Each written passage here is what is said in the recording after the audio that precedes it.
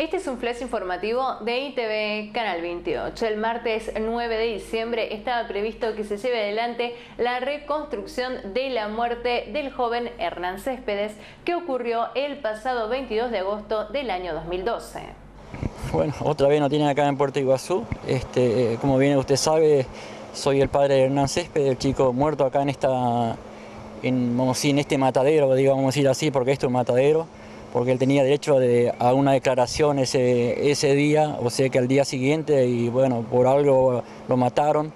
y sabemos que hay gente detrás de esto que están eh, este, queriendo sacar tajada, que nosotros estamos a punto de descubrir este misterio. Si nosotros no enteramos ahora, este, dice que ya eh, salió por los, medios periodísticos, pero nosotros no, no, no, justo no teníamos el diario este,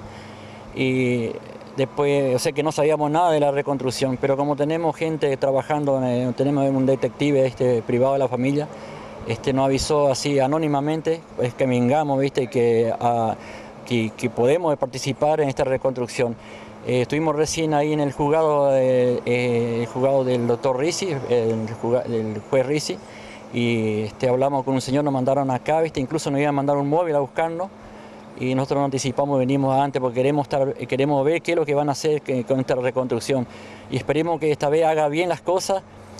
porque como siempre dije a, dije a usted y a, todos, a todos al medio periodístico, le dije que nosotros vamos a parar esto, nunca vamos a parar. El día que paremos, porque vamos seguros que mi esposa Nora y yo vamos a estar muertos, y nunca vamos a parar.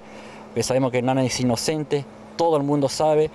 y creo que nosotros vamos a enmascarar estos monstruos que están detrás de esto, muy, muy, muy poco tiempo falta para eso. Y nosotros queremos seguir de cerca, queremos este, una vez por todas, porque nunca nos dejaron ver nada nosotros, siempre hicieron la cosa escondida. Entonces queremos estar ahí, ahí queremos estar viendo qué es lo que están haciendo. Tal vez no entendamos nada lo que hacen, así como hicieron aquella oportunidad en mi casa en allanamiento donde me, me, me, valijaron mi casa, incluso me sacaron cuota que estaba pagando mi auto, esta gente, esta, gente, vamos, vamos a decir que son una manga de chorro, esta gente,